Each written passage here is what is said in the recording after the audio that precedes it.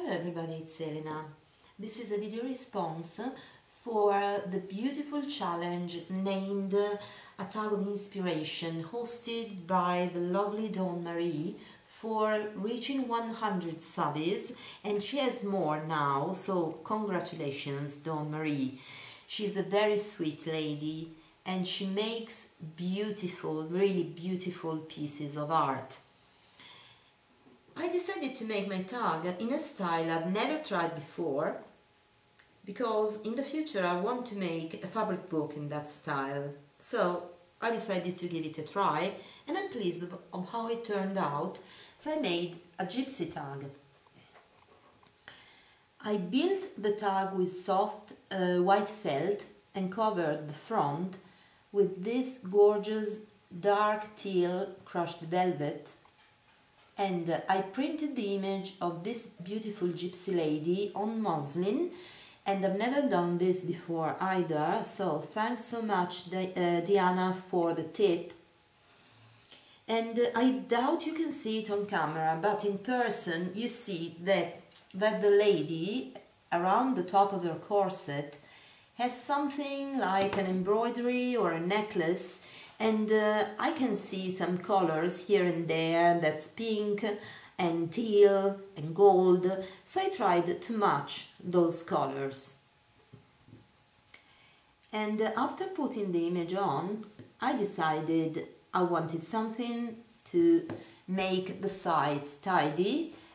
And uh, I had this gorgeous trim, multicolored trim with pale colors but I didn't want it to show because it is quite wide. So I put it on the back and uh, being careful to let just one part poke out like this. So you see quite some like fibers like little loops all around the tag. Then uh, some parts of the um, well the majority the sorry most parts of the, the tag are sewn on, they're not glued. I took this piece of beautiful chiffon, it is such a bright color, I love it, twisted it and then I, I fasten it by sewing this, uh, this um, big pearl in the same uh, antique gold color and then I secured everything on the um, on the tag by sewing them. Then I twisted again the piece and uh, I let it quite wide at the bottom. Then I tucked these two chains with embellishments under the bead. And around the head of the lady you can see these gorgeous flowers all sequined and the golden leaves. And they come from a gorgeous ribbon I cut into pieces and rearranged rearranged in this way.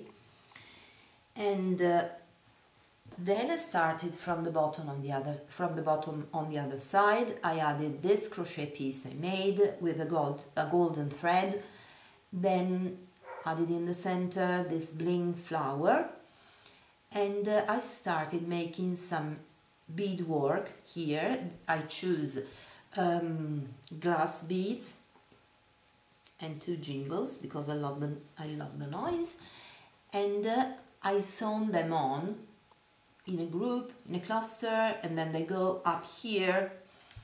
And uh, sewing beads on something I've never done before. It is the first time for that too. So thanks so much, Dawn, because you gave me the opportunity of, of uh, trying, trying something different. Then I tucked in a little piece of pink lace and uh, some green seam binding and this piece of, sh of uh, shabby fabric it, it is in um,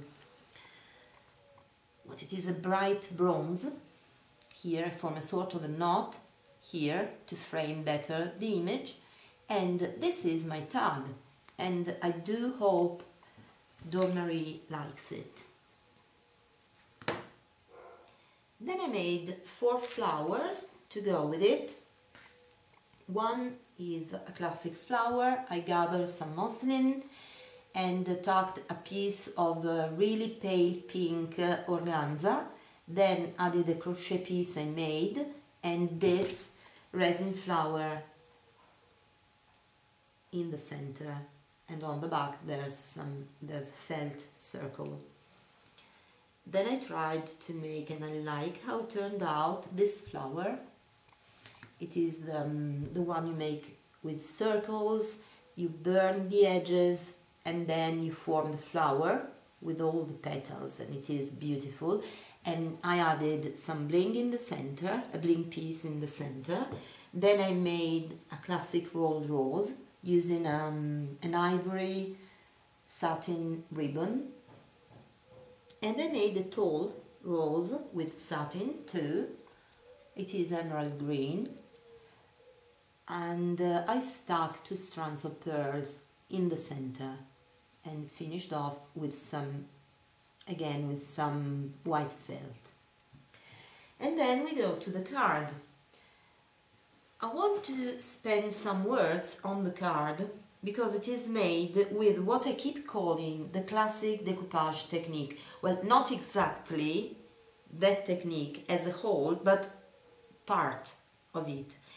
And if you are interested, please let me know in the comment down below so I can make a video talking about this kind of thing I keep calling classic decoupage and uh, uh, show you something. So the card is this. I took a card ahead and I added two images of lovely witches playing with, um, they look like uh, soap bubbles or uh, glass spheres and uh, one is uh, on the ground, the other one is floating, going toward, towards her. And to make them and all the bubbles around, I've used this paper. This is one sheet of what it's called the proper decoupage paper. And uh, in this case, you fussy cut the images in down to the very tiny details. For example, you see the hand here and uh, the tip of her um, boots. So I cut two of them and uh, some bubbles and I glued them on this card. Well, I'll stop here for now. I don't go into explaining how proper decoupage is made and so on. That's for another video, like I said, if you're interested. And then I went uh, around the images using some inks by Tim Holtz in uh, pink, pale green, blue and uh, a sort of, um, how can I call it? It's not purple, but it's it's not red either. So it is this color. Uh, um, I don't remember the name. And then like I said some blue. So the center the spine of the card is quite darker and I went around because this one is all um, in cold colors. So I went around with blue and green. This one is in, in, is in sorry in hot colors. So I went around with the pink and that other color and uh, I went around um, the bubbles too. I cut one bubble here to go around this part of the card. I did, I colored the background in the same way with a little uh, blender and the same color I've used for the front part and I will add a message inside. So this is it for my challenge. I really hope Dawn Marie likes what I made for her. Thank you very much for watching. Have a fabulous day. Bye bye.